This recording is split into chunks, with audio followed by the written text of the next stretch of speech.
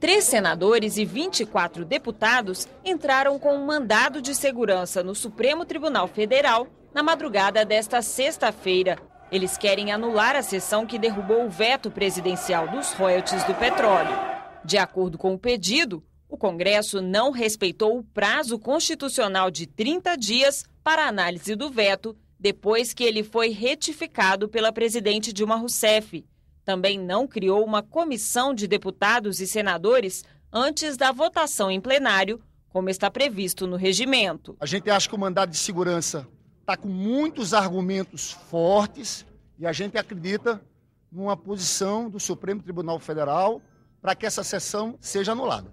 Cabe à Advocacia Geral da União defender a posição do Congresso no Supremo com a decisão do Congresso, o assunto é uma página virada do ponto de vista do posicionamento da AGU e o advogado-geral, no Supremo Federal, defenderá integralmente a decisão do Congresso Nacional.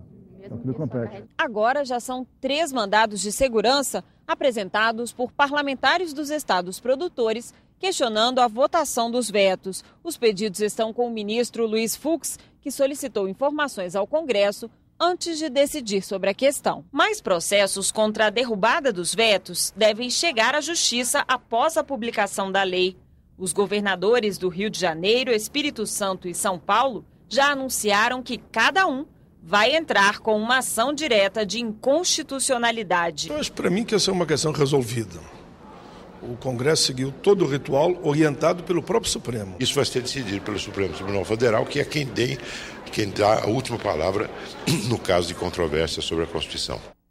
Quando o resultado da sessão que derrubou os vetos chegar oficialmente ao Palácio do Planalto, a presidente Dilma terá 48 horas para promulgar a lei. Só depois da publicação é que os governadores podem protocolar as ações da Justiça.